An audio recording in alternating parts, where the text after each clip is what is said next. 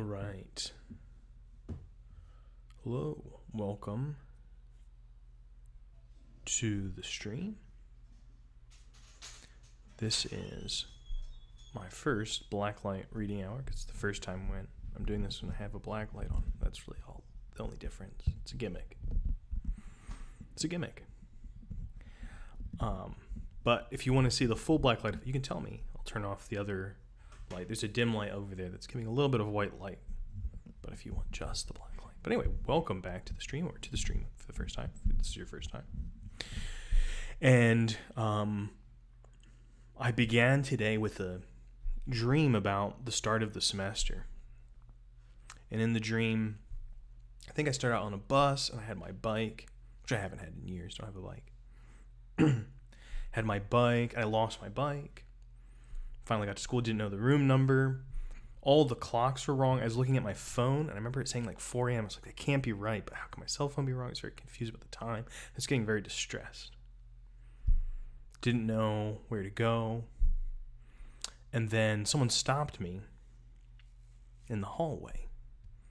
And they're like, ah, don't worry about it. You- You're close enough in time just to tell me something, which was, you're a leader. Which was a very funny kind of like punchline to a dream. It was like, my dreams don't tend to be that obvious, but it was a pretty uh, funny punchline of just like, totally a big mess, and I'm a leader. And it felt like an accusation more than a moment of being celebrated or something. It was like, oh yeah, what a mess. And so I woke up, I was relieved to find out that the semester had not begun, but it did put kind of a fire under my ass today to get things going, get ready, really start, begin thinking about the semester. Only a little over a week before it begins. And one of the things I wanted to think about was what would be, be reading this year and um, or this semester. And I've got a pretty good group of things that I like to read in public speaking class that I teach pretty much all the time. But I thought that maybe it might be time to rethink some of those things and switch it up a little bit. So that's what I did. And I'm still not so sure that I have hit on anything, but for the time being, I put this on the syllabus, which would be a new work for me. And I thought, why not put it on the stream and read some of it the way I will do anyway if I do end up using it in the class where I create these videos. Maybe I'll chop this one up a little bit, but um, read it on the stream and see how it goes with this black light. Okay, so um, David Bromwich. I think that's maybe it's Bromwich. I don't I don't know how you say the name, but I know that he is a professor at Yale. I believe he's a professor of literature. He is kind of famous for his political commentary, which sometimes appears in the London Review of Books, which is where uh, I have come to read him. This is the first time I'm reading something actually that isn't from that or you know the nation or some other places that he publishes in some journalistic outfits. It's the first time I'm reading like a book that he wrote, and you can see up here, 130 pages. It's pretty short. I don't know if you can see me. I'm circling that, but um, yeah, 130 pages, pretty short. Not very long. Not assigning the whole thing. Really think I'm only going to read a chapter of it because I liked the title of I liked the title of the book, How Words Make Things Happen, and I assumed that it probably was going to be a little bit of a riff on a number of different statements from philosophers and, and poets who have said things like philosophy leaves everything as it is, or poetry um, poetry does nothing. These kinds of things, and so this, he's kind of uh, taking on both of those. Actually, he's taking on this book an argument against both the poets and mostly the literary crit- critics, and in some sense the philosophers, who would say that words don't make things happen. He said words, how words make things happen, though, might be a little bit different than what we usually think. And his way of talking about it in the very first essay, which is a chapter in the book, they're all lectures. They were all delivered as lectures. So this is a collection of lectures, and I tend to really like these works that are collections of lectures from all different kinds of people. There are famous lecture series, and sometimes universities will sponsor them, or there'll even be kind of like a fund set up to sponsor a lecture series, which also might be like someone's sabbatical, because they might say, take a year, think really hard about what you want to say for like six speeches and say it. And it's one of these rare places that's preserved in, it's not just in America, there are many places where there are lecture series, but in this case, um, at the University of Oxford, but where uh, people might be thinking in speech publicly. So there's one. That's one reason I like to read these lecture series. Also, they tend to be very short, and they tend to be a little bit more, as you would expect, since they're speeches, to be written in a way that is maybe not necessarily more accessible because it can still be quite heady. It can still be quite involved. The arguments might be very complicated, but that they're really addressed to a present moment. They're not addressed to a bunch of literature. They're addressed to people. And it feels a little different and it feels a little more alive, I think, a lot of the time when you are reading lectures um, than when you're reading someone's kind of like, this is the tome to end all tomes. This is my final treatment of the topic. Those kinds of things aren't quite as alive. This is people trying to say, hey, I got a little bit of time. What can I say? Um, doesn't mean that everyone's always going to do something great with it, but I thought I would check out what he does in this book, how words make things happen. So here's a little bit of his preface. We'll start with about what he thinks this is all about. This book is a revised and expanded version of the Clarendon lectures that I gave in the Michaelmas term. Michaelmas is like famously where you like kill a goose at the beginning of the Oxford term. In uh, um, but yeah, it refers back to an old liturgical Christian holiday that no one really celebrates anymore except at the University of Oxford. The topic grew out of a question, but it means the fall semester. The topic grew out of a question that has puzzled me from the time I began to study literature and he's a liter- literature professor, as I mentioned before. Every writer must have recognized the force of Yeats's declarations. Declaration: Words alone are certain good. So William Butler Yeats, actually, recent speaking of the LRB, recently they did like a podcast all about Yeats, which was I thought was pretty good. and Yeats is a famous Irish poet. He's famous for his poetry. You might have heard some of the lines. You know, the center cannot hold. Uh, turning and turning in the widening gyre. Some of his lines from his poems became famous in ways that people don't even remember. So famous that you forget where it's from. That's when you know you're really famous when people don't recognize you. That's how famous you are.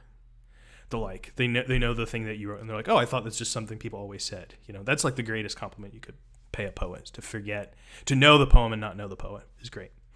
So Yeats is somebody who has that kind of stature, and he's also maybe associated with a kind of poetry that's very poetic poetry. That might seem to say all poetry is poetic. Well, you know, some poetry is kind of like doing something different. It's doing something. His poetry really enjoys itself. It enjoys being poetry. Doesn't mean that it's not about. It's not always happy, but it's enjoying the literariness, the kind of texture of language. It's just kind of you know, it's it all feels just right. You know, it's that kind of poetry. So it makes sense that he would be the person that would say words alone are certain good. Certainly good for him in his pocket. You know, he's selling words, huh? That's what you would say, wouldn't you, Yeats? But what does the saying mean? Words drawn from thought and feeling.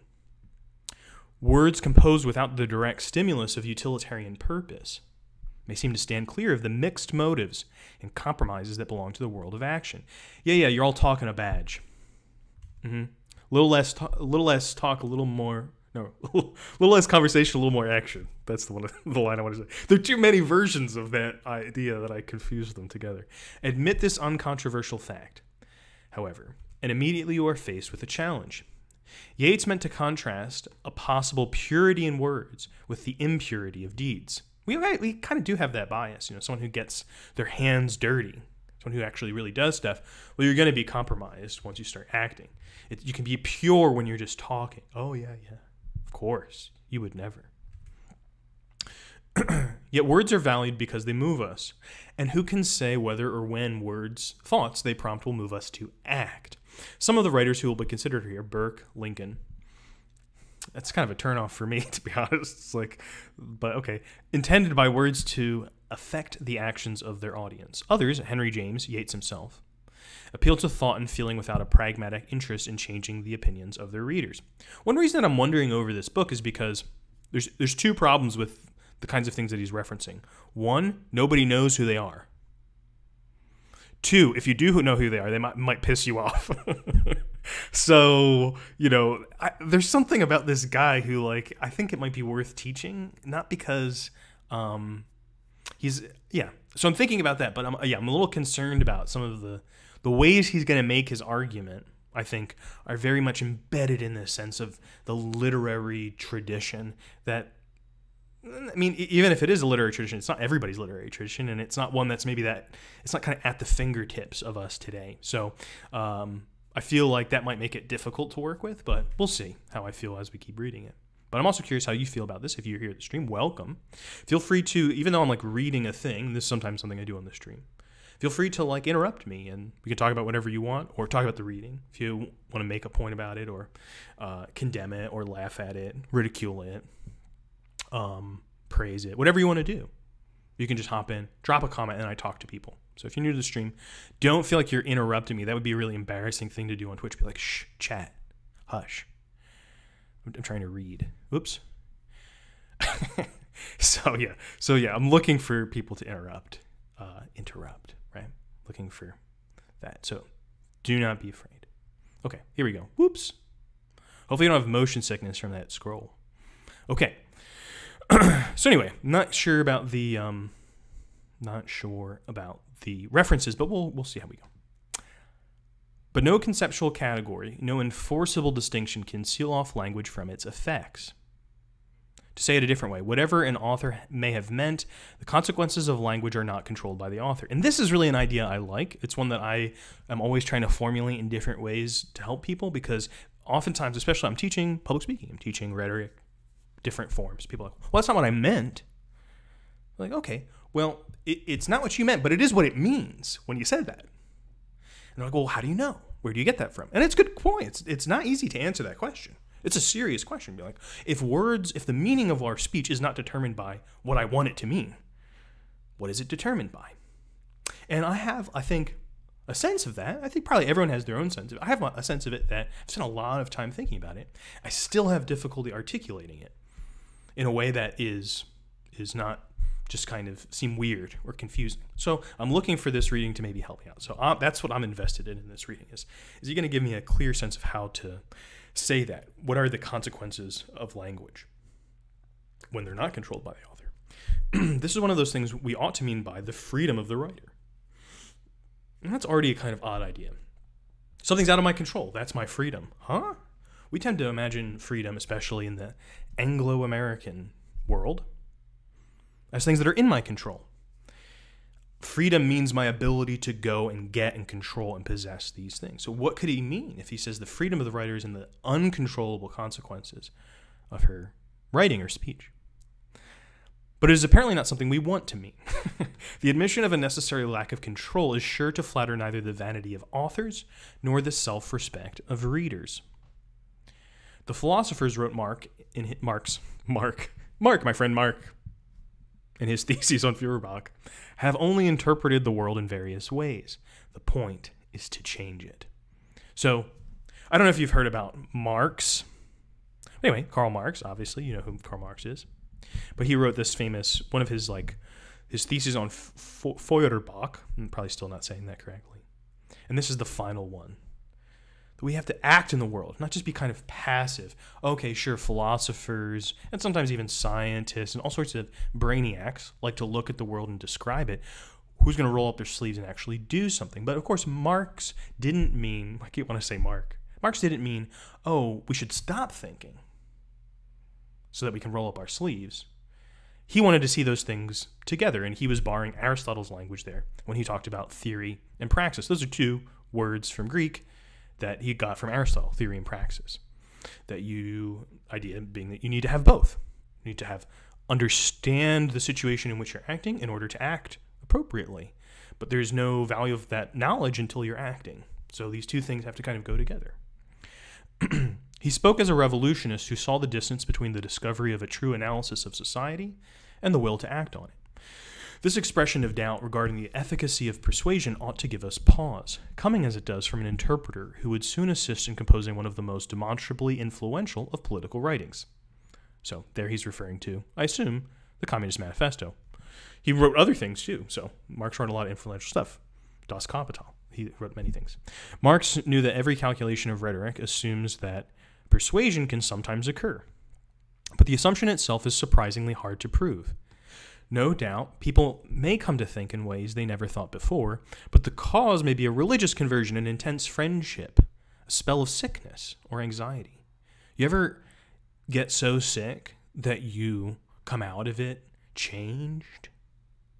Maybe you haven't. I think we've experienced this kind of sickness, or you know, we used to experience it less today. Right now, we're experiencing it a lot, but the way that people are coming out changed by COVID uh, is part of the nature of the disease, maybe different than other diseases.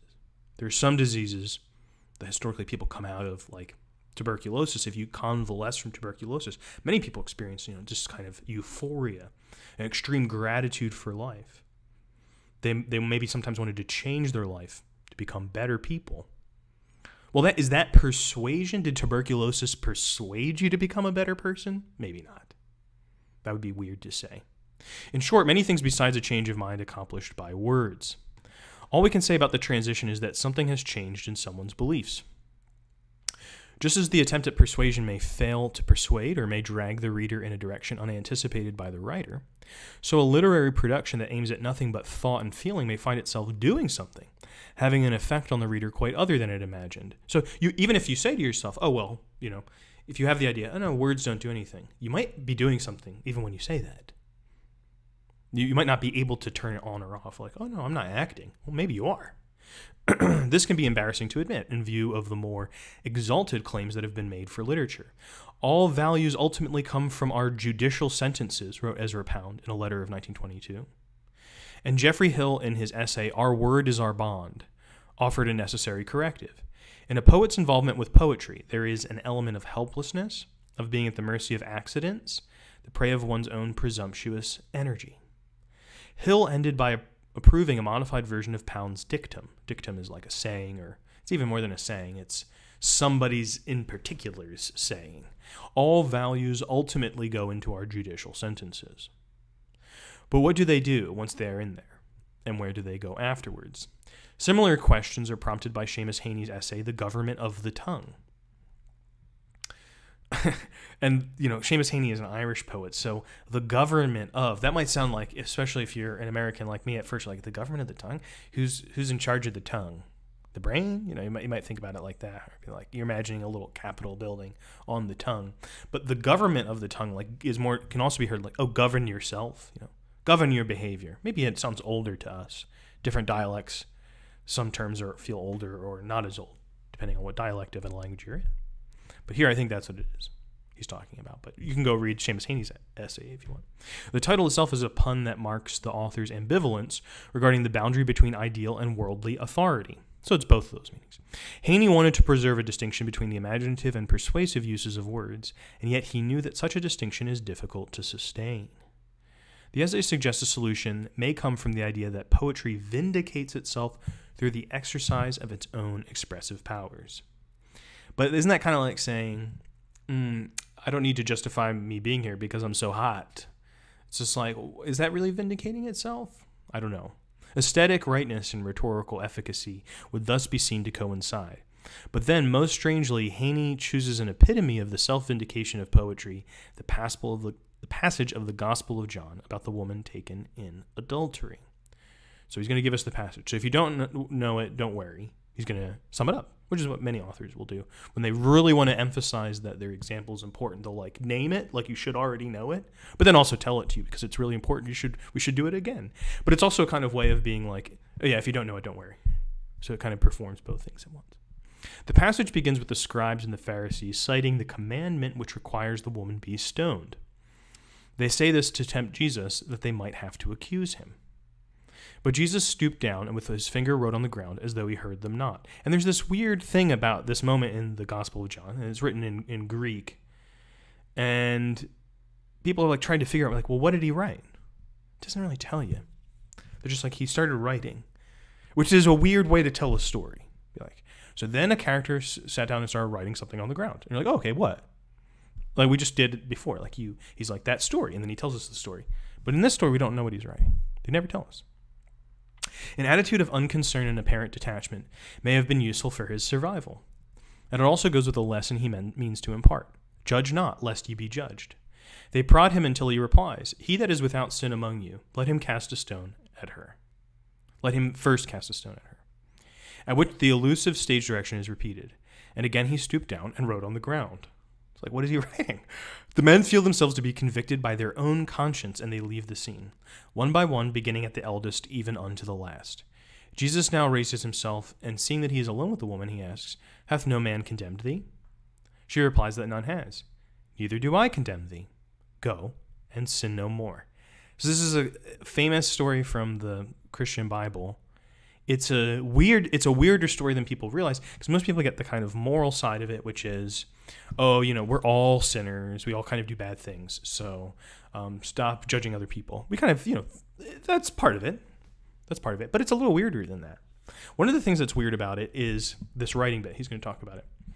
Um, there's an also a joke that Catholics like to tell based on this story, which I think is kind of funny. They're like, they tell the beginning of the story. So Jesus came and they said, "This woman must be stoned to death," and Jesus says, "You who is without sin, throw the first stone." And then he gets hit in the back of the head. He goes, "Ow, hey, mom," because Catholics think that.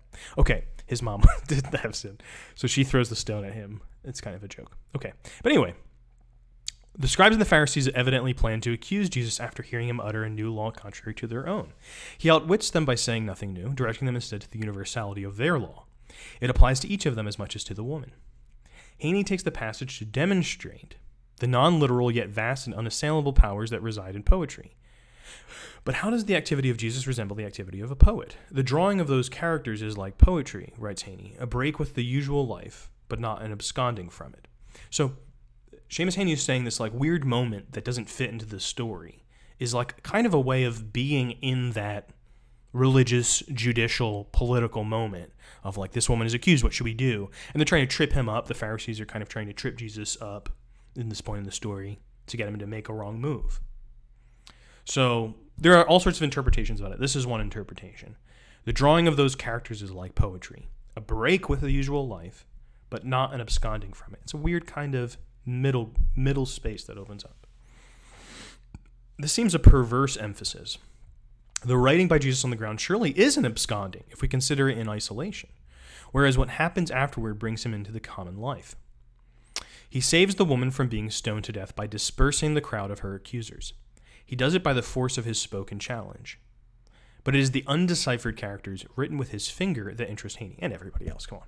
Poetry holds attention for a space as Jesus does when he writes on the ground, functions not as a distraction but as pure concentration, a focus where our power to concentrate is concentrated back on ourselves. And it's funny that he uses that term here because there's a poem by Seamus Heaney that I happen to know and really like, and it contains the line. I don't know if I got it exactly, but um, the demand or the desire to contemplate a single point and the demand to participate actively in history. So he talks about being caught between those this desire to contemplate a single point and then to actively participate in history. And here in this story, or in his interpretation of the story, he kind of shows the relationship between those. So it's not that he's kind of being pulled in two directions. It's actually caught between those two is where this kind of action is.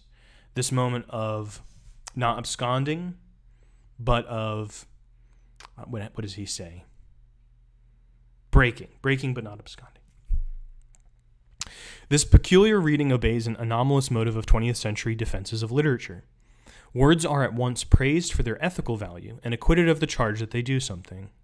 Right? So, like, it's so good. Yeah, you know, I mean, he's, I don't think he's just going to be hard on Heaney here. I think he's going to you know, try to tease out something. I don't know what he's going to do. I haven't read it. I think he's going to try to tease out another meaning for it. But one, I do kind of, we do have a version of this that I would kind of ridicule, which is, oh gosh, we aren't talking enough about, people always say this, we aren't talking enough about X or we aren't talking enough about Y. We don't, as if to talk about it would be the the thing that we need to do. And I find that to be like it's it's kind of it can be kind of annoying, but it's also curious. It's a it suggests something more than what people might intend by it we, we're never we don't talk enough about this. Wonder what wonder what people might might mean by that. to repeat, the gospel passage owes little of its force to the writing on the ground that Heaney associates with poetry. It is concerned with the world of action, the practical meaning of the law that Jesus publicly interprets in order to save the woman's life. Blake said that forgiveness of sins is the only teaching by which Christianity offers a moral principle, distinct from the pagan philosophies. There is not one moral virtue that Jesus inculcated, but Plato and Cicero did inculcate before him. What then did Christ inculcate? Forgiveness of sins. This alone is the gospel, and this is the life and immortality brought to light by Jesus. So it sounds very Christian here, but I think again this is maybe a little bit of a symptom of David Bromwich being like a Yale literature guy, where he's just like, no, no, we can talk quite casually about Christianity. It's not casual, I should say, but like he he kind of maybe would upset both the people who are like, why are you referring to Christianity and not to other religions, and also to people who would be like, this is my faith. Why are you treating it just like another piece of literature? and probably he would he wouldn't care that he would offend both of those groups. He'd just be like, because I one of the reasons I know him is he wrote this piece about why we should uh, pay less attention to offending people with our speech. He has a more sophisticated version of that argument than we usually hear, though. So, uh, I have singled out Heaney and Hill because they were gifted writers who aimed to think clearly about the effects of words. The same perplexities occur when commentators of lesser stature address the subject. We are apt to treat with mockery or with casual dismissal the idea that poets are unacknowledged legislators. I think it was Shelley, the poet Shelley, that said that unacknowledged legislators of the world are poets. But if we try to do justice to the influence of literature on life, we are fated to repeat the claim in however disguised a form. And it looks as if Shelley was right after all. We cannot estimate what we owe to the unacknowledged and unacknowledgeable legislators who affect us through language. A similar understanding applies to the everyday speakers of remembered words. Somebody is hearing them and getting a sensation that may hardly be discerned. Language affects human action. It is involved in almost everything we do, and its meanings are imperfectly determined, both ameliorated and degraded, made better and made worse by those who write and those who read. Forgive them, for they know what know what they do. In the present context may seem an excessive plea, but it is true enough that only partially and in the web of corrigible errors can we pretend to know what we are doing with words. So he's doing it, you know, this is quite clever. It's very good good job there, David. But um beyond being clever, I think there is a really important idea in here. And it's one that I also uh, try to get to with Toni Morrison's Nobel Prize Literature speech Nobel Prize for Literature speech, which I just realized that in my syllabus was auto corrected to just Nobel Prize, uh, which is fine, which is fine. Um, I'm not gonna go change it. uh, uploading a second document that's too much work, but spending like four hours reading a chapter on stream is not enough. So that's part of who I am. Anyway, so um, language affects human action is, I mean, I think uh, not a bad axiom, but it does kind of need to be proved. Does it does need to be proved to most people. Most people are going to be like, hmm, a little suspicious. Like, how much? Aren't there other things? What about money? What about biology? What about sex and food and all sorts of other things? And they see those as separate from language. So part of it is kind of showing how language is cannot really be in some serious way separated from all of those other things. That what we're talking about when we're talking about language is not just the moments when people are speaking, but how all of our thinking and our habits and our ways of being in the world are formed by being beings that speak, being beings that are in language. That the weirdness of us as compared to all other animals doesn't make us better. I don't, I don't think it necessarily makes us worse either. We would only be the only ones that could judge anyway. Is that we are speaking animals. Not necessarily the smartest animals, but the speaking ones. So, um, but so we're going to talk a little bit about that in the book. But he's also doing something. The clever bit here is to say before he was like, look, there are these two things. Po- poetry or language in general is said to be great. Hey, what's up, Steve? Welcome to the stream. We're reading um, this book, and I'm trying to figure out whether I want to uh, want to use this, but I like this idea that he's putting forward in this introduction. So I'm feeling better about it already. So he's just ending here. I should like to thank blah blah blah blah.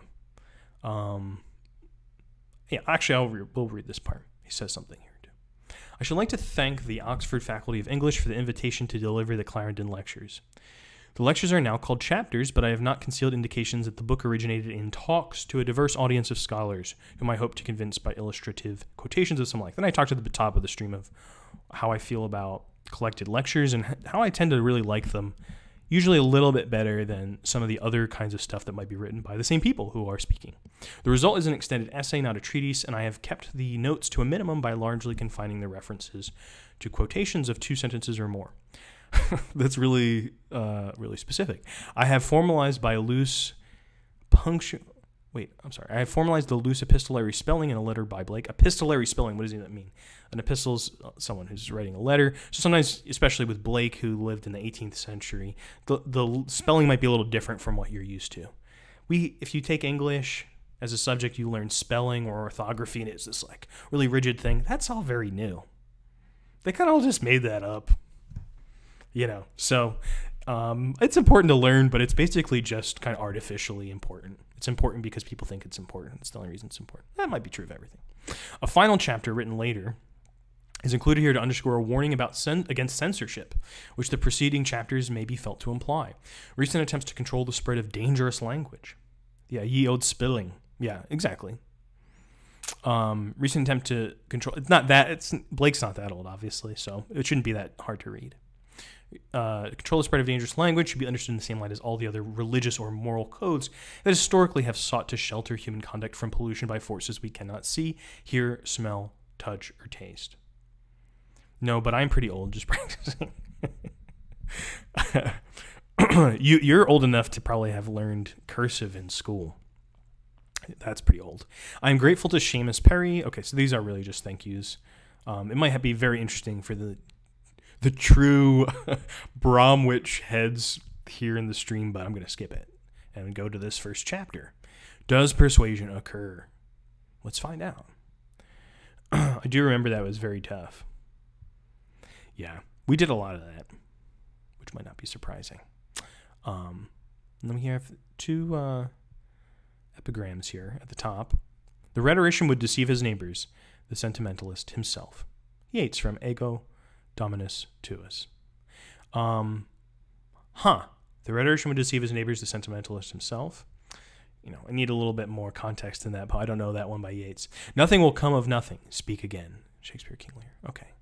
Great. Does persuasion occur? What do you think? Let's take some bets at the top here. Um, you're going to go with the 6 1 odds on uh, Lucky Poke are you going to go with Austin? Or what if these are the three names of horses a, at a racetrack? Austin, Aristotle, and Cicero. Which horse would you bet on? Does persuasion occur? Well, I don't know that we're going to know the answer at the end of reading this chapter, but maybe we'll have a better version of the question. And that's really mostly what I hope from these readings. This is why I'm interested in, in giving readings and public speaking, is that we get better versions of the question that we're always asking, always returning to um, well, I'm always return, returning to it because I'm teaching the same class, but we're, we're always returning to it as people, I think, even when we're not conscious of the question. Like the question is kind of embedded in the acts of communication. So this is making it clearer, making it explicit, giving it some room for reflection. I borrow the title of this series of lectures from two well known phrases W.H. Auden in his elegy for William Butler Yeats deplored the emotional extravagance and mortal recklessness of the poet whose death he mourned, but he ended by granting a partial exoneration. Whatever Yeats's motives may have been, Auden declared, he could not be accused of fomenting wickedness, since, after all, poetry makes nothing happen. That's a nice way to like insult insult your enemy of being like, you know, I can't say that anything that they did even though they were a vicious, cruel bastard. Nothing that they did was really vicious or cruel because they failed at everything they tried. It's like you get it's a double whammy, but then the uppercut comes in. the maxim was assimilated to critical doctrine in the 1950s and became part of the common sense of literary studies. The defense of poetry, it implies, was still going strong a generation later, when one of my teachers, W.K. Wimsatt, memorably defined a poem as a verbal object whose only end is to be known. God, that is just like what a what a dead fish way of like beginning to think about a poem. It's a verbal object whose only end is to be known. Like, oh my god, that makes you wonder about how those people are in the rest of their life when people say things like that. You know, kind of um, chalk. It's like they eat chalk for breakfast or something when they say things like that. I this is also making reminding me that Adrienne Rich, the um, feminist poet, talks about like the she fell in love with poetry by reading Yeats, which I thought was kind of interesting. And she was just like, she I I can't say exactly how she expressed it, but it was something along the lines of, but like it was too like Yeats made me almost too in love with language, and I had to learn, as we're gonna kind of argue about in this piece, learn how to like make words do things or something like that. She had she had a better version of that, but a great poem shouldn't make you want to join a movement or change your life. Its nature is not to persuade. And even if it has that effect on some people, that is not why it matters, nor is what we come to value it for. So, if, if a poem changes your life, I've I've been wanting to write this essay. This song did not save your life because you hear that in the comment section of so many YouTube music videos, or just like if you're on a music scene, you'll hear people say this about like the worst band you've ever met in your life, and people mean this completely sincerely. And I don't doubt that music has played a, a role in many people's lives that um, felt like salvation. But I think we sometimes we come out of that with this hyper attachment to what those qualities are in that in that experience, trying to make them the qualities of a thing that we can return to over and over again. And that might be where people get a little bit you can get a little bit stuck in that in that sense of things. the other half of my title comes from J.L. Austin's book, How to Do Things with Words. The, though instruction on doing things with words may cut against the idea that words make nothing happen, Austin's sense of the way certain words perform specific actions was quite compatible with Auden's dictum that words of another sort reliably act so as to bring about no effect. Austin was not talking about poetry. Rather, his survey covered a limited set of verbal formulae that accomplish something concrete in the course of their saying or by virtue of certain words having been said. so if you've never heard of speech act theory, that's not a problem. And uh, I'm sorry that I'm, I'm, I'm making you think about this, especially at this hour of the night. But um, speech act theory was like real extreme. It actually remains very popular in certain corners, but it's became an extremely influential theory of a philosophical theory and theory really here in a sense of kind of hypothetical but general description of how language works. There are these different things that you can do. And he's going to tell you what it sounds like. He mainly drew his examples from small and large ceremonial occasions, saying welcome to people in order to welcome them. So when I say welcome, I'm not referring to something, I'm just greeting you. And so philosophers before had been, and they still are, god damn, they're really focused on the meaning of language being through reference. A rabbit somehow points to this little fuzzy thing in the world. Right? How does that happen? And they become really mystified. So Austin at least was trying to give people a little bit more elbow room to be like, well, look at all of these things that happen without what seems like reference. Greeting someone doesn't you're not really referring to anything, you know? um, so it's helpful saying them saying thank you where the saying gives the thanks. So far, the point is so clear it may hardly need explaining. But we can easily call to mind interactions that have a more formal character. A policeman says to a culprit, "I arrest you." is that is is that what he is that what he said? Is that what he said? And in doing so, arrests him. A priest affirms to a couple, "I now pronounce you man and wife," and they are married. It's funny because I have married people and it has a nice ambiguity in in English. But no, no, no. no rings, but I have married people more on many occasions, and in fact, I did it for one couple twice. So legally, they were already married, but I did this. They they wanted to do the ceremony again too, and so it was one of these weird moments where like that classic example became weird for me because I was like, it's actually this actually shows like one of the, these weird exceptions. Like if I were a philosopher, I should write the paper on this, but it's just not that. It's boring because it's obviously more complicated than that. But I'm saying the same formulas for some people in the audience. It might feel, you know, depending on how they look at it, if they don't know that it's the second time or they were invited to the first one. I don't know. You know, it might feel like the real thing, but what makes it real is something different than my words. What made the first one real was that it was authorized with a license, and it was then you know that license was taken to the city hall, and legal I, documents were changed. so anyway, um, this wasn't a very sophisticated theory, even though it keeps hanging around. It isn't hard to pick out the family resemblance among situations in which words either perform an action or constitute a necessary part of a performance in which their actual force is proved by the appropriate accompanying measures or gestures.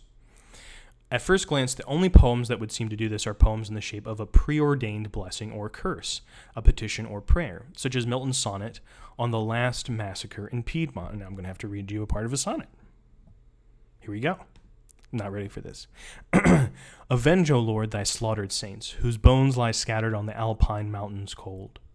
Even them who kept thy truth so pure of old, when all our fathers worship stocks and stones, forget not. Milton's call for divine retribution against the killers of Waldensian heretics is inseparable from the prayer like command, avenge, right? And so Milton was a Puritan against the kind of Anglicans in the uh, English Civil War, and the, actually also against the Presbyterians. So we don't need to go into everything of this English Civil War, but let's say he was a super religious guy in a very weird way. He had weird ideas about in like in Paradise Lost, the angels like eat food, and that's how they become holier, and they like it makes you think. I guess the angels have to shit, and like, do they have holier shits and stuff? Every time they shit, they get holier. It, kind of that he kind of implies that. So anyway, Milton is a very religious guy, but also very unusual in his religious thinking, and he's calling these people who have been killed, um, that are people that he believes are righteous people. He's saying that they were martyrs, slaughtered saints, and that becomes a motive to avenge them which is an action, right? Avenge. It's calling to action. But God is not only his listener, or God is not his only listener. Remembrance, so far as it can be performed, turns into a fact through the utterance of the imperative, forget not. So if I tell you to remember something, uh, honey, honey, remember the milk. I'm making you remember the milk as I'm doing that, right? For a less weighty instance, compare Tennyson's affirmation in his lovely verses to E. Fitzgerald that the poem he is writing will itself be a, his appropriate gift.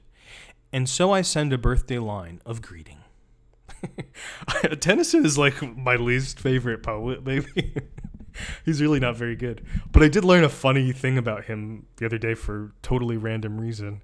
But he apparently, I think it was, uh, oh God, Ferdinand the Sixth, maybe, who was the monarch of Spain, and he and his friend like went on an international escapade to try to overthrow him with this like band of revolutionaries. but apparently, he just did it out of peer pressure. He was just he got peer pressured into into a, a monarchical coup. but then, like, I guess escaped with his life and then just went home. and wrote a bunch of poems, not very good poems. Tennyson is like, so this is the thing that's frustrating about this guy is why are you making all these references? Like, okay, I'm sure the English literary tradition is very important. We should really respect it. Do we need to make it Tennyson though? Fucking a, just like the deadest uh, things. But anyway, I still I like his argument. I do like the argument so far.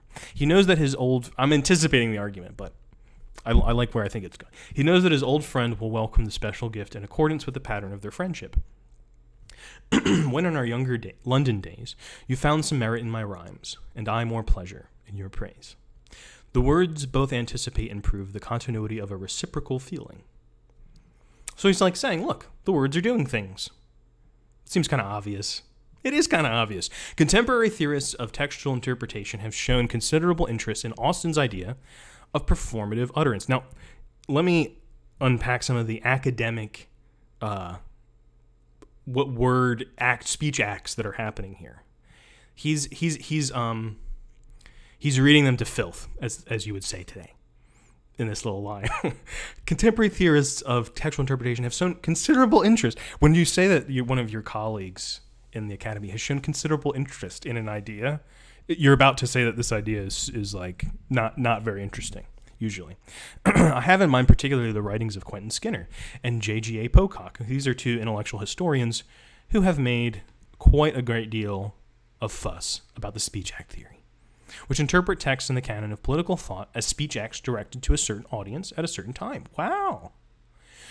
the readers of a persuasive text, it is argued, learn how to read the verbal cues in a special and almost explicit way. Persuasion on this view functions so that the reader completes a performance intended by the writer. And that's not that dumb. That seems like a reasonable way of thinking about the relationship there.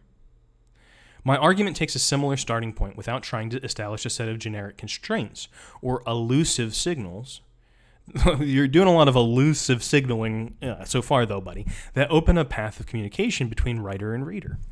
I am concerned rather with occasions on which words may persuade in spite of themselves, and often in spite of their avowed intention. So, this is why I'm like excited about this piece, is because he's trying to develop a theory, even though he's going to use all these allusions to literature that are not going to help make this go over well with my students, which, you know, whatever. But he's trying to make a point that I think is very valuable, which is we are in persuasion, we are persuading people not because of our intentions.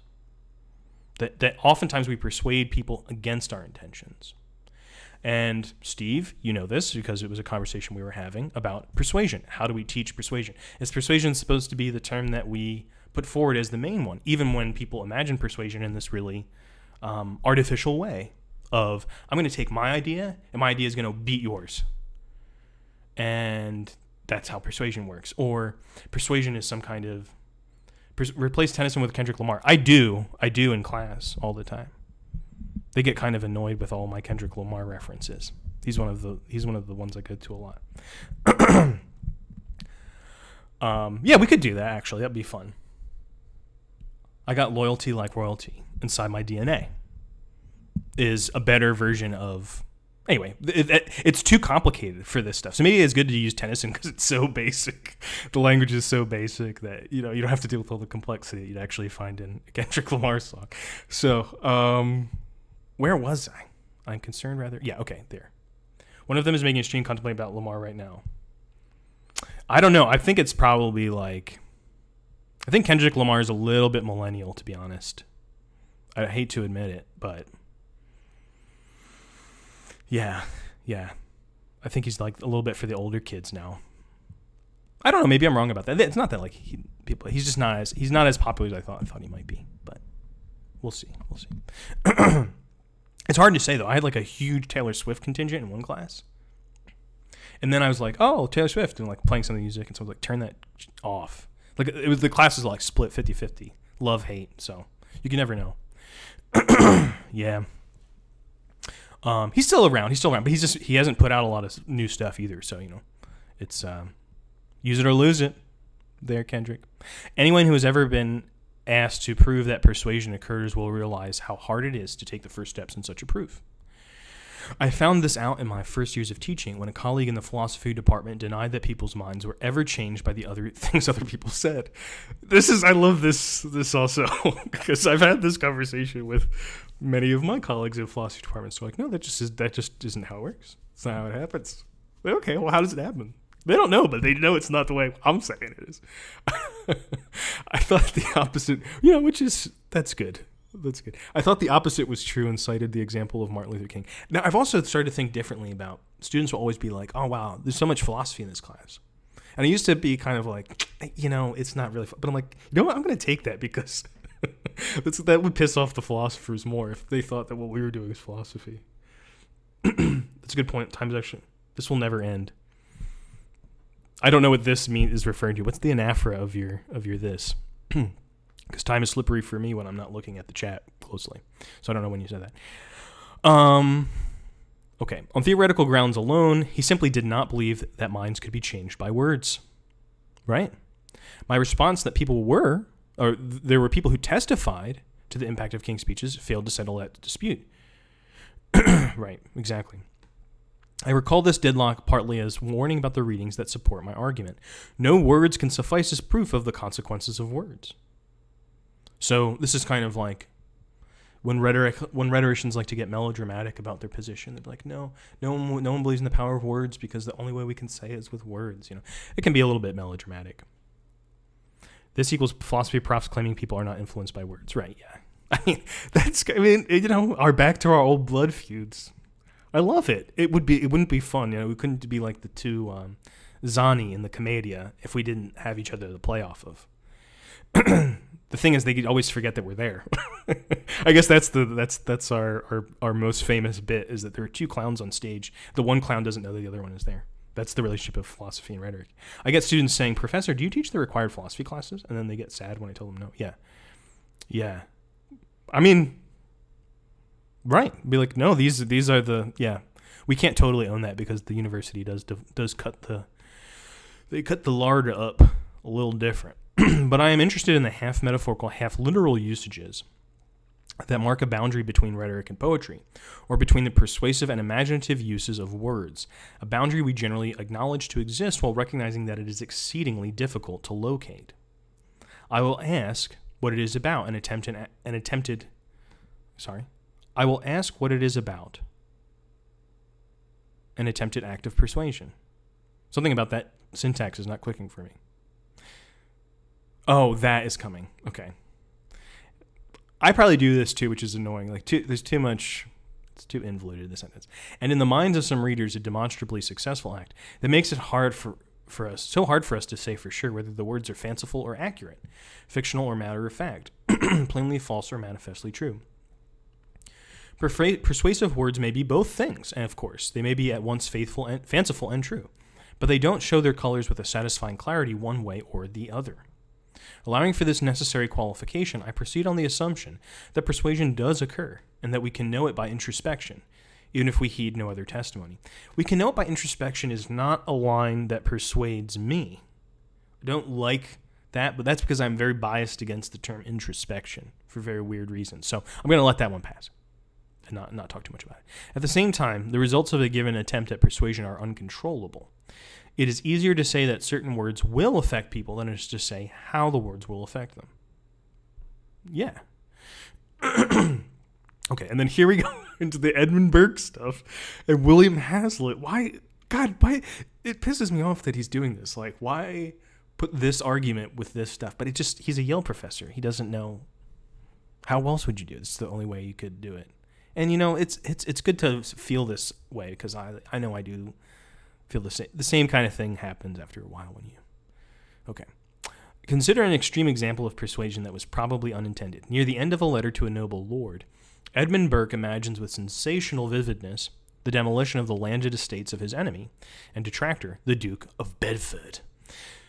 Burke supposes the agents of destruction to be the French Jacobins who will have invaded and conquered England, an action that radical politics of the young Duke might be taken to have encouraged. So Edmund Burke is the famous yeah, it's an Oxford audience, of course. Right. Yeah, exactly. Why can't he write for my my intended audience, not his? Um, Edmund Burke is a famous the famous father of conservatism, which many people claim, or many people are called, but um, you know, he's in there. And one of his you know, main big things was the French Revolution was a mistake was not a fan of the French Revolution, and spe- specifically the Terror. He was not a fan of the Terror. Um, the passage begins His Grace's landed possessions are irresistibly inviting to an agrarian experiment. And you can hear experiment. You have to read that with a certain amount of disdain to understand Edmund Burke. And the phantasmagoria that unrolls must have seemed to Burke's followers a brilliant vindication of his counter revolutionary argument, a deserved satire on the dangerous pretensions of men of privilege who commit waste on their on the inheritance. Yet we know that the same passage was capable of having a different effect. To romantic radicals of the next generation, such as the young William Hazlitt, it exemplified the ascendancy of individual genius over inherited power and privilege. Burke was uttering fearless truths against the unmerited distinction of aristocracy. So Burke thinks he's making a conservative argument. This just to put it in terms that maybe be a little bit closer to our time. Burke thinks he's making a conservative argument because he's talking about this aristocrat, but it's this is aristocrat's revolutionary fantasies. He's he's ridiculing and mocking and has disdain for. But Hazlitt's reading it later and is like, yeah, exactly. Tell off those tell off those um, landed people, those fat cats. And he hears it more as like an argument that might we might say comes from the left. Well, and also the left is pretty new because the left is this thing that comes out of the French Revolution, right? Where did they sit? On the left. Okay. Um, anyway, that's the story I've heard. Maybe there's more to it than that. A letter to a noble lord is a satirical polemic with an overtly political subject. It would now be classified in the crudest terms as nonfiction but that helps very little in gauging the consequences of Burke's imaginings. Even a proper generic frame cannot prevent a response that goes aslant of anything the author intended. Words act in divergent ways on intelligent readers. So this is just an again, this is a really important point. Don't this I w- I wouldn't. It's hard to find great examples of this, but it's not necessarily that. One thing we should emphasize is not that Hazlitt misreads Burke. It's not that Hazlitt gets Burke wrong. Hazlitt understands the point that Burke is making. He even understands probably the point that Burke thinks he's making. It's persuasive to Hazlitt for different reasons, and that's what uh, Bromwich is trying to get across, which is that the persuasiveness of that of that language of those words, um, the persuasiveness of Burke's own arguments might not be persuasive to the ends that he imagines. They might be, they might not be. There might be and not be. Consider now a quite different example from the art of fiction.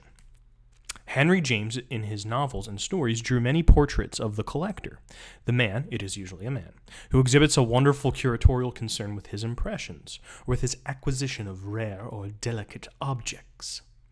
There is likely to be some initial agreement on which characters we judge to be specimens of the type. Gilbert Osmond, in The Portrait of a Lady, is one. Another is the nameless publishing scoundrel of the Aspern Papers. Don't know that one. But subsequent disagreement may cover a wide range. How do we judge the moral character of Adam Verver in The Golden Bowl? Oh, tell me, how do we? The answer will depend in large measure on what we make of his relationship to his daughter Maggie, a relationship that borders on the incestuous. When the two of them manipulate their respective partners in order to restore the integrity of Maggie's marriage, their secret intimacy outweighs the love they feel for their mates. This will appear to some tastes perverse, to others a transubstantiation of love to a higher register.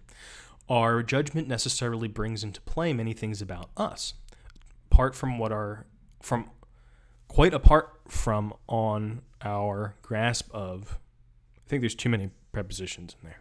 Or is that just me? What James wanted us to think, even if we could be sure that he was aiming at in the golden bowl.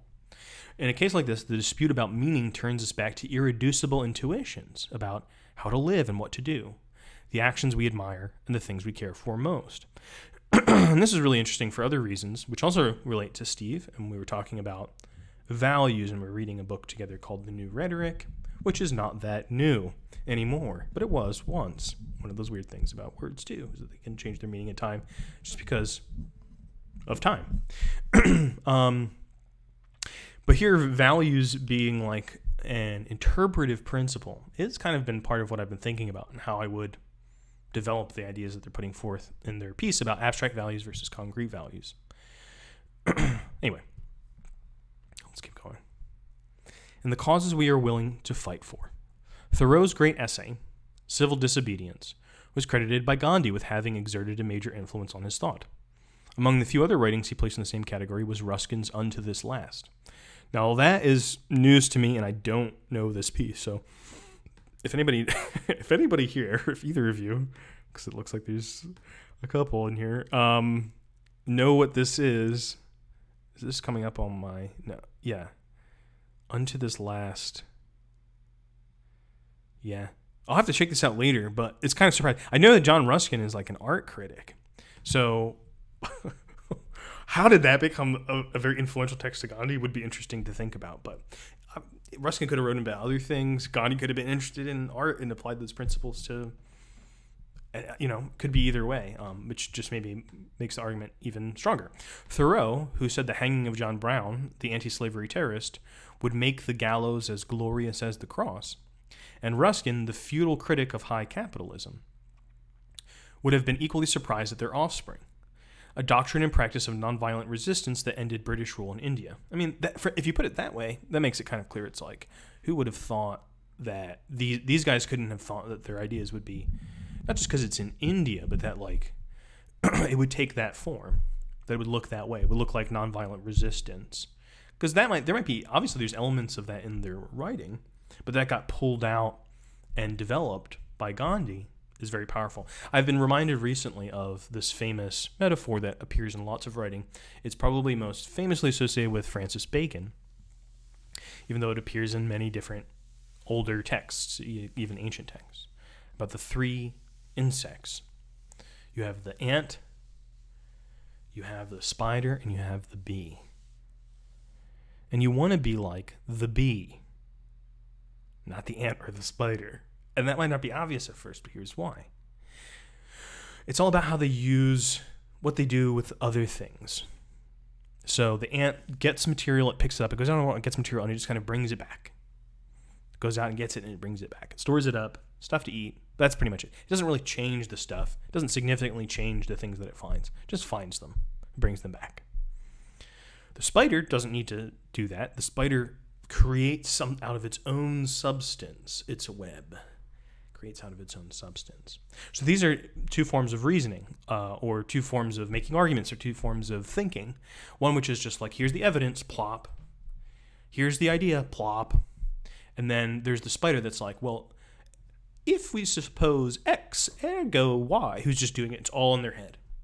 The bee is a little different. The bee alights on a flower, gets some nectar, brings it back to the hive, kind of like the ant, it would seem, but then it transforms it with its own substance transforms the things that it finds outside into honey. And we could say that, this is maybe a way to think about this process that Gandhi is like a bee. and he flies like a butterfly and he stings like a bee. Um, don't sting.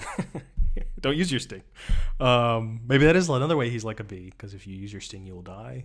Nonviolence. I don't know. Um, no stinging, right. But he developed these ideas he found from other places through his own he wouldn't say his own substance, but through through his own kind of practice. He metabolized these ideas into something distinct but transformed, but also clearly from something. When you have honey from a certain place, you can kind of taste the flower in it. Like, oh, that's wildflower flower honey. Oh, that's Japanese knotweed honey. That came from the back. We, we can tell where those bees have been. The uncontrollability of persuasion, however, doesn't come under the heading of ambiguity, though the two are related.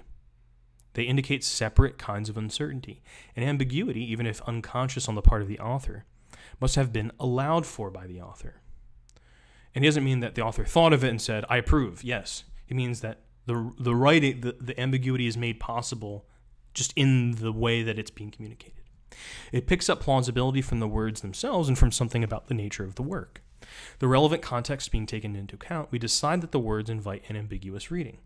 By contrast, the unanticipated consequences, or vagrant byproducts, of persuasion may interest us most intensely when they counteract the author's evident wish. And I've been thinking about that idea recently a lot.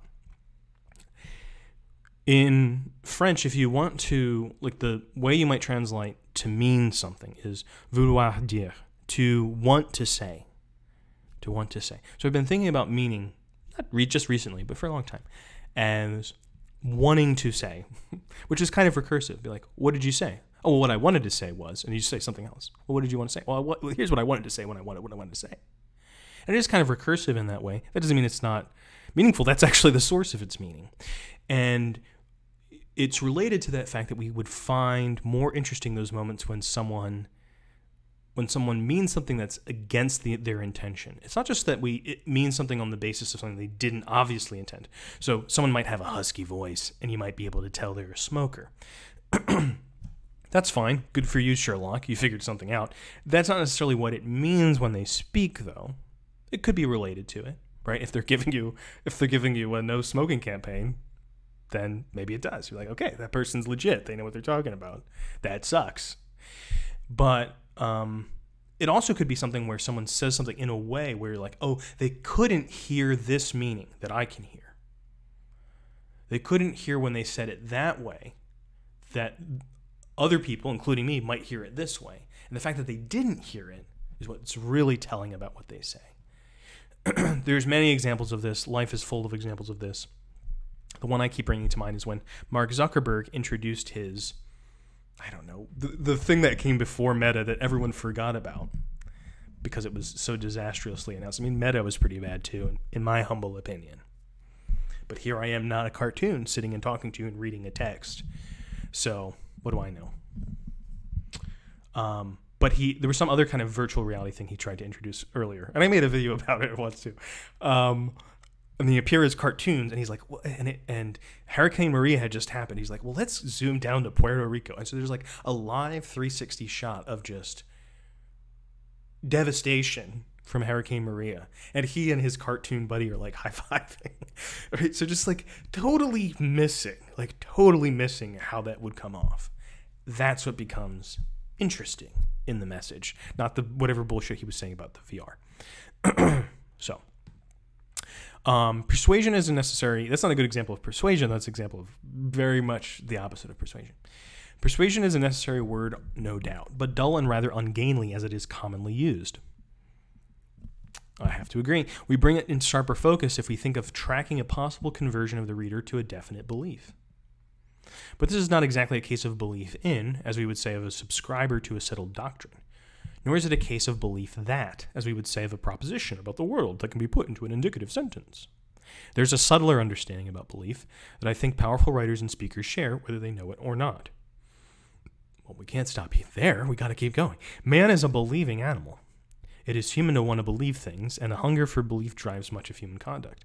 This fact alone explains much of the content of religion and politics, and a good deal of interest in works of the imagination that we would recognize as bringing them, bringing with them no practical directive. Directive is like this is what you should do. literature engagé. There was this argument in French literature in the 20th century about like should literature itself be engaged in the struggle you know, in the capital T S struggle would be T S, but uh, in the struggle. No, not necessarily, but it doesn't mean it's not doing something. I would distinguish the hunger for belief from what William James called the will to believe, by which he meant the desire for a solid faith in which to ground our most consequential actions. James was pointing to a source of the conviction that we possess of the that we possess freedom of the will, a source that would allow us to anchor that feeling in something greater than ourselves. I am describing something much less available to conscious awareness, an eager readiness for contact with apparent realities, but a readiness that doesn't involve credence or putting a proposition into practice. So I don't begin to act in the world by being like, the world is as I see it. It's kind of a weird precondition that philosophers always put before acting. Like before you begin to do anything, you got to come over overcome all these hurdles about knowing what you're doing. It's like no, no, I don't. In fact, I never will and never do. And we are doing stuff like actions happening despite all of those philosophical hurdles. They're actually not that hard to jump over because they're not really hurdles. um, think of the common expression "you're kidding" when we say it in a certain way, closer to laughter than alarm. We always mean the same thing. I hope it's true, but true or not, how lucky to be hearing of anything so fascinating and improbable. You're kidding. We like it best if the thing is true, but so great is our hunger for belief, we give the speaker credit even if he or she was putting us on. I might use that as like a that's a nice one sentence. I'm always looking for good sentences that you can vary the meaning of in a bunch of ways by saying it in a different way. that might be a good one to put in the toolbox. The joke was on us, and it is almost as good as if it were true. We treat as a manifestation of wit the recounting of a possibly true story, and equally a successful lie which we find gripping. That must be, have been one reason why Aristotle in his rhetoric defined wit as well bred insolence. That's a really good pull. uh, that one never, uh, that one never jumped out on the page to me, but now you put it like that. I like that well bred insolence. There is a little bit of that in in wit, right? Insolence has to, he talks about shamelessness as a feeling. Yeah, what a translation. I have to go back and look at that later, but I'm not gonna do that right now, obviously. Like he talks about shame, like shame, obviously is a, is we think about that as a feeling or as a pathos, but shamelessness? That kind of makes you realize when Aristotle talks talking about shamelessness as a pathos like maybe it's not exactly what we think um, like a pathos is not exactly an emotion. It kind of is but it's really a lot about its performance. It's not just about its feeling. It's kind of being like the things that you care about fuck you buddy it's a moment of like performing the social meaning of your feeling in that scene so it's, it's kind of a hard thing to do but so this is like when aristotle's talking about wit as well-bred insolence it has that it's in the rhetoric. It has that kind of like what publicly is being performed. What's the public meaning of the thing held together? You're always looking at stuff in the rhetoric from the point of view of being an audience member, which is one of the weird things about Aristotle's rhetoric. And I don't know if I've ever put it quite that way before, but but really that that is one of the things that makes Aristotle's rhetoric so powerful, is that he he puts you in the position of the audience, and he's like talking to you like you're go- being going to be the one making the speech, but he's like, the only way you can understand what to do is if you think about it as being it from the point of view of the audience. um, suppose the speaker has embarrassed us, embarrassed us by eliciting our belief in a lie. What of it? The belief itself still interests us, and we pardon the trespass. I mean, sometimes you want to be lied to. I have like a hilarious version of this with my nephew recently, where Santa, as Trump said, when you're seven, it's kind of marginal, right?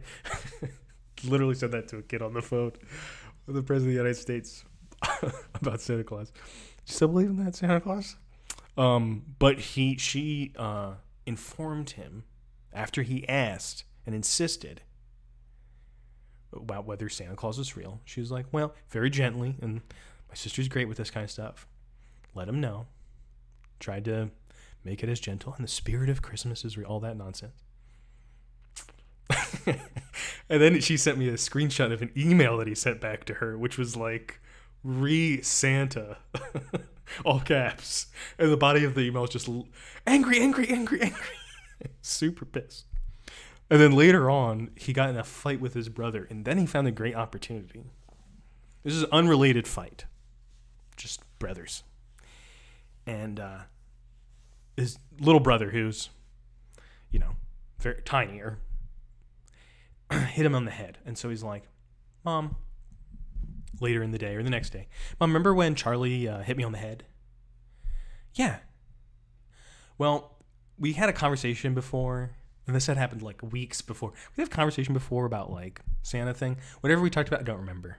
And he's just gonna live in a world in which he's gonna act like he doesn't remember this conversation because he wants to believe in Santa Claus.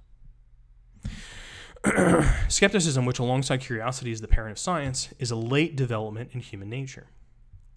Believing, however, is only half the puzzle. In a few persons whose importance is out of proportion to their share of the human group, there is a hunger to be- be believed. I tell you a story, maybe a true story, maybe because, because I want you to hear it approvingly. And the sure sign of your approval will be your belief. I mean, that's a nice kind of simple and obvious formulation, but we don't formulate that a lot. Why do people want to be believed? Because they want it to want to be approved, and like it's hard to be like, oh yeah, you, that's so great. It's a fucking lie. like if you think it's a lie, then you're not really saying good job, buddy. Usually, right? So, the pressing desire to be believed. So I will argue in the second lecture is a source of our fascination with dramatic soliloquies that exhibit in detail the process of rationalization or self justification. We can see the same desire at work in the search for explanations that look toward first person action. My will. What's the thing that moves me and makes me act? When we are hard at work persuading ourselves, we talk to ourselves silently. But this inward dialogue follows none of the protocols of empirical prudence or disinterested morality. It may ignore even the demands of simple self interest. In such deliberations, we see ourselves as people who want to be believed. Of all the great novelists, Henry James excelled in the portrayal of a consciousness that is at once the subject and the object of a hunger for belief. That's true. And God, it can be tiresome in those Henry James novels of the person being like, oh, uh, following the treatment in the first, Henry James is great, you know, no offense, but following the treatment in the first two lectures of persuasion, action, and belief in general, and of speakers who convince themselves, such as Shakespeare's Brutus and Milton's Satan. It's interesting to pick those two as the characters that persuade themselves because they do have some kind of negative connotations. In fact, Brutus ends up in Satan's mouth in uh, Dante, who comes before both of those guys. But um, the third lecture aims to illustrate a similar process, but now involving a high. I'm sorry, not Brutus. No, that's wrong. Brutus is a. Wait, is Brutus in the mouth? I don't remember. Okay. the third lecture aims to illustrate a similar process, but now involving a high degree theatrical artifice and premeditation. Here, the speaker appeals to an audience from explicit knowledge of their common situation, and the performance inseparably mixes logical, ethical, and emotional lines of address. Yeah, yeah, yeah, that's right. That's right. Brutus, Judas, and Cassius. Cassius.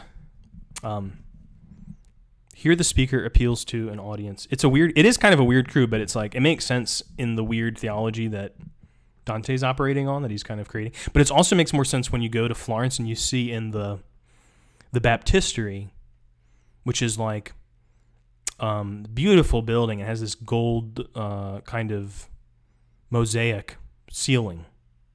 And on the ceiling is like this being with three mouths that has like a men in all three mouths. And I'm like, oh, he obviously was looking at that. Like, you know, I'm sure that's something that's in a footnote somewhere, but I just like looked at it, I was like, oh, that's the thing that he was looking at. You're imagining he was probably in exile at that time. so it's a cool image you can look up if you like look up, I don't know, like Baptistery, Satan chewing on three guys on Google Images, you probably find it. In pursuing this topic, unlike the others, I will stay mostly within the bounds of rhetorical analysis, properly speaking. Even here, the analysis will show there are properly. It's funny to hear somebody talk about rhetorical analysis who's not one of the people who, you know, we imagine would talk about rhetorical analysis. It's not an NCA article. Even here, the analysis will show there are possible inferences from a well plotted speech that would startle the speaker who saw them beforehand. This is a general truth about words that excite us, and a truth certainly known to the ancients. No tears in the speakers, no tears in the listener. Horace also expected us to know that tears affect us most when they come unbidden. Okay. All right. I mean, no tears in the speaker, no tears in the listener. I mean, I know he's not putting that forward as like a very serious thing, but I'm like, not even sure that quite gets to the point that I think he's trying to make. Maybe I don't understand it. Let me look at it again. Even here, the analysis will show there are possible inferences from a well plotted speech that would startle a speaker who saw them beforehand. This is a general truth about words that excite us, and a truth certainly known to the ancients no tears in the speaker, no tears in the listener. Hmm.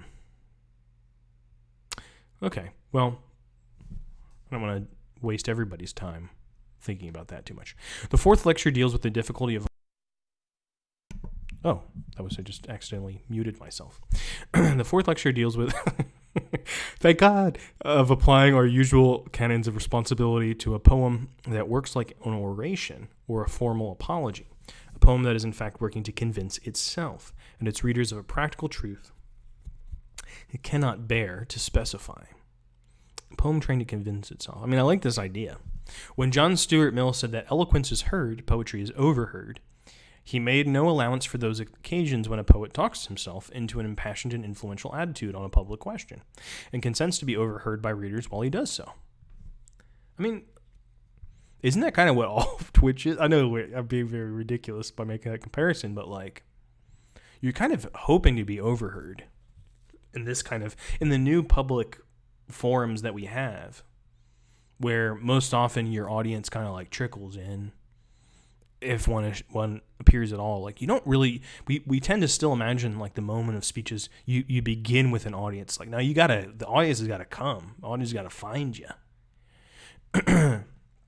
and that's um that that creates this kind of weird dynamic i think. That changes it from this classical imagination of of speech of like there everyone is ready to stand up on the rostrum or whatever it might be. Um but anyway that's too far fetched. The practical influence of a literary work as the cause of an effect that goes beyond attitude may call into question our usual ideas about aesthetic distance and the separation between the aesthetic and the ethical. It may. We may find it hard to avoid the conclusion that the artist has done something wrong with words. Now, here's a little other kind of academic um, shit eating thing that's happening here. When someone says we may find it, they're saying you should find it after you read my piece. When language is both imaginative and persuasive, its meanings can't be confined within the limits that grammarians and critics like to set. This may still be the case when we are intensely conscious of our wish to control the range of our meanings. Burke's Inquiry into the Sublime and Beautiful compares a verbal description to a painting in order to convince us that the painting, just because it produces visible effects, is less effective than words at raising strong emotions. Words are superior, paradoxically, says Burke, because they yield a more obscure image of their object. Wouldn't we think that the this is a very good way to go to bed. Oh, yeah, yeah. Well, thanks for stopping by at all, Steve. And the VOD will appear later if you really want to continue. But I think this is a good piece. It's been fun having you here. So thanks for uh, stopping by. Words are superior paradoxically, says Burke. Right. So the idea that something is more persuasive because it's more obscure, that it's less vivid, I think strikes us as, as, as strange at first. But think about all of the examples of like when you you know how sometimes you have the like motion on some new TVs. My TV doesn't have it, but I was recently at home uh, with my parents, and they have a TV that has this like motion blur effect on that you know maybe when you're watching a sports game makes it feel like more realistic. But if you turn it on during like a movie or something, it makes it look really uncanny and bad. It makes it look cheap. Like it makes it look too clear, too real. And um, I think that's an example of why sometimes, yeah, actually, you need some of that. You need some of that little bit of decay away from like the perfect representation, like the perfect digital rendering of the object to get a feeling for it. And people have this feeling about lots of um, other kinds of aesthetics that you might be familiar with. In video games, there are a lot of people that prefer the lo fi aesthetic. Is it because they're nostalgic for it from their childhood? Maybe. That's part of it. But there are certainly people that who never had it in their childhood that are younger that are still liking that aesthetic because it gives you a way of feeling into things that it might be not as available if things are kind of fully explicit, fully rendered out. It's all right there. You're not as much a participant as you were before. But even a verbal description uh, on this view wants to be picture like. It is trying for sharp definition, and that is the problem. The problem I mean for someone interested in raising strong emotions. Draw out the observation a little further, and Burke will seem to be implying that great effects are incompatible with any stretch of words that pleases too much by being merely accountable. So if you do the dragnet style and you say just the facts, you just tell me what's happening, there's no way you can be moving that way. Even if the thing that you're describing should make us feel a way. You know, you might be describing something really awful and we should feel sad. But if you go if you're telling me about like the size, like the dimensions of the tumor, it's it can make me harder to feel that way. Like, oh, it's a little too vivid. Yeah. In fact, Burke makes an inference still more radical when he resumes the comparison of word and picture in the final part of the enquiry. Here, his declared subject is words. Imagine if you wrote just like a chapter of a book called Words. Ridiculous. You wouldn't do this anymore. We rely on words as universals, he says, and so thoroughgoing is this reliance that words may shed all pretense of referring precisely to anything. On this account, the passage from designation to abstraction is hardly conscious. The frequent failure of words to deliver the literal value they promise, or the literal help we wrongly expect of them, turns out to be a perverse convenience for the imagination. The sounds being often used without reference to any particular occasion, without reference to any particular occasion. Okay, anyway, that's his special meaning for me. So sorry if you're the one person that's here. Uh, yay. I have to go find that. And carrying still their first impression, they at last utterly. Oh my gosh, my nose is so itchy. but I did get a negative COVID test. Just have an itchy nose. They at last utterly lose their connection with the particular occasions that gave rise to them. The gradual process of dissociation over time, which turns apt metaphors into dead metaphors, works also to turn referring, referring into non referring literalisms. So, this is an argument that's kind of been made a lot. Maybe the first place that I encountered it was with Nietzsche in his essay on truth and lies in a non moral sense, where he says basically all language begins as metaphor. He, he really actually says all language is a mobile army of metaphors that it never loses its metaphorical qualities. You just forget about it. You forgot the metaphor. That's what makes it literal. That's all. we feel no cause for alarm since it is open to us to check the worth of the signals by other means detectable tones of voice, acquaintance with the speaker, and so on. Nothing, this is more from Burke on words, is an imitation further than as it, further than as it resembles some other thing. Nothing is an imitation further than as it resembles some other thing. And words undoubtedly have no sort of resemblance to the ideas for which they stand. So the word chicken doesn't look like a chicken obviously. Just because words are unmeaning in this sense, they are well fitted to convey a strong charge of irregular passion. So we yield, our, yield ourselves to the sympathy evoked by words. We yield for better and also for worse. But a master of persuasion who recognizes this truth must accept the uncertainty of success in achieving a desired effect from words. So you can like understand how language can become persuasive and that it produces effect. You're still not going to be able to control those effects. It's like too powerful it would be kind of like if you could only do chemistry in the way that alchemists used to do chemi- chemistry. Like before, like you're not able to reduce down all of the elements and all of the compounds into simple solutions that you can then combine. Like they come already combined. So something might have a bunch of stuff in it that's going to react with a bunch of other stuff. And you might want one of those reactions, but you're going to get all of them. Right? That that might be a way to think about how language is different than some kind of scientific parceling out of all these different effects. Not possible. Burke, in his own rhetorical practice, was particularly anxious about that uncertainty. And in his speech on Fox's East India Bill, in the middle of his attack on the commercial empire of the East India Company, he paused to wonder at the way a vivid description of cruelty might counteract the proper effects of sympathy. It has been said, and with regard to one of them, with truth, that Tacitus and Machiavel, by their cold way of relating enormous crimes, have in some sort appeared not to disapprove them, but that they seem a sort of professors of the art of tyranny, and that they corrupt the minds of their readers by not expressing the detestation and horror that naturally belong to horrible and detestable proceedings. So, because Machiavelli can talk in a cool voice about um, state violence, it sounds like he's a supporter of it. You don't, you can't be neutral. So, if you're not horrified, you're in support.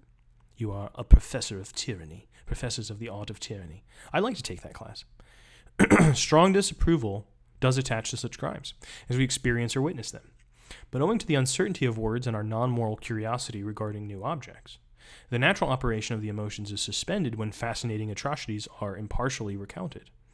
We do not quite know what we are feeling then. I think he's trying to say a lot of things there, but um, I'd give other examples, but I feel like maybe it, you can supply your own. One can find a related thought in Burke's letter of November 1789 to Charles Jean Francois Depont, the most French name ever, the letter that was the germ of Reflections on the Revolution in France. Burke had hesitated to send it, he tells his young correspondent in France, because in seasons of jealousy, suspicion is vigilant and active. And if the authorities intercepted the letter, they might piece together indications that could be used against its recipient. In the ill connected and inconclusive logic of the passions, whatever may appear blamable is easily transferred from the guilty writer to the innocent receiver. It is an awkward as well as an unpleasant accident, but it is one that sometimes happens. A man may be a martyr to the tenets of the most opposite to his own, right? So if you send someone, let's say you send someone a saucy, a rather saucy text. Now, even if they didn't want to receive it, if they open it in front of their grandma, you know, she's gonna be like, "What are you doing? Who? What are you? Where, who you been hanging out with?" Right? She's gonna be like, so something like that is what he might be talking about. this is prudent advice, and the matter might seem to end with the warning to take care. But coming from an author who had written earlier and emphatically of the non-resemblance between words and ideas, Burke's excuse for the delay in sending his message implies a more general warning. A writer, any writer, may be made the cause of conversions he did not intend. A work may be made a martyr to purposes the most opposite to those it declares on its face. And this not from any lack of competence in delivering an esoteric message, but rather because of the fallibility of persuasion itself. And in a weird way, it's one of the ways that I can sleep at night because if my job is to, some sense, help people become more persuasive, I'm not sure that I'm very good at my job. Maybe I am. You're the judge. Well, what if they are persuasive in ways that are bad? Of course, the world's not that simple. And one can have some faith that language that is really effective will become persuasive for its best ends if when given a broad enough scope.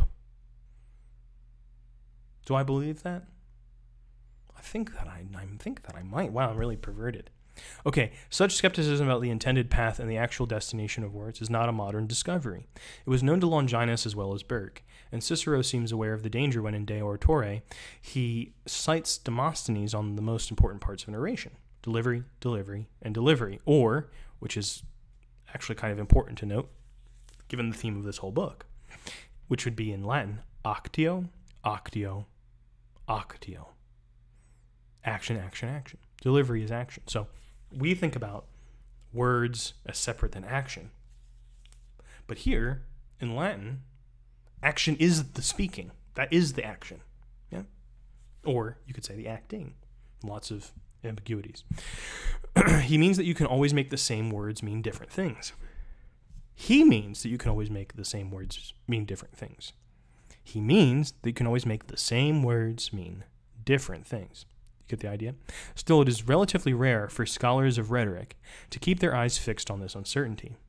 From the 18th century through the early 20th, it was widely, though not universally, supposed that poetry should accomplish something def- definite and controllable, with assured effects of the sort I am suggesting rhetoric can never obtain.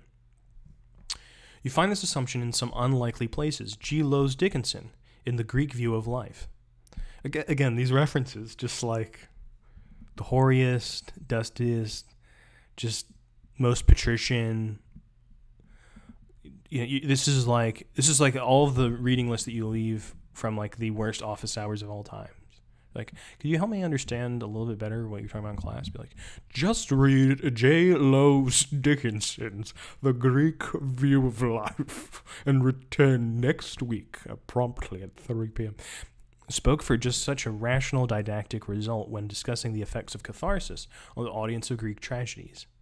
It worked, he thought, like a repeatable conversion that carried people from one state of mind to another.